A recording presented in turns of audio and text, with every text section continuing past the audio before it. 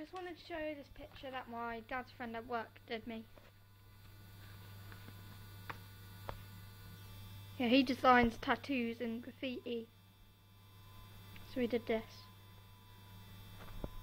Uh, that's all I wanted to show you.